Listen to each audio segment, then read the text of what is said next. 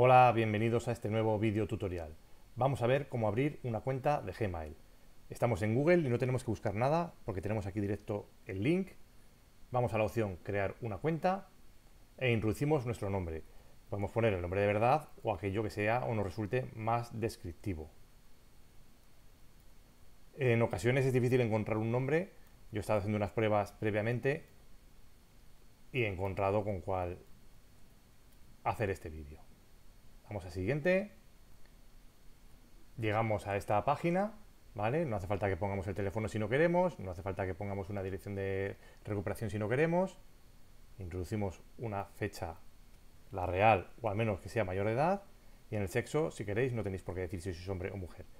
Le dais a siguiente, elegimos la personalización rápida para no enredarnos en absoluto confirmamos los datos estos de, bueno, de cookies, de derechos de propiedad, derechos de, bueno, todas estas cosas de derechos personales. Aceptamos, Google se toma unos segundos para completar el proceso.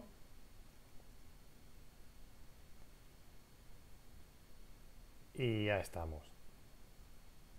Desactivamos las funciones inteligentes, más que nada para no enredarnos con el proceso.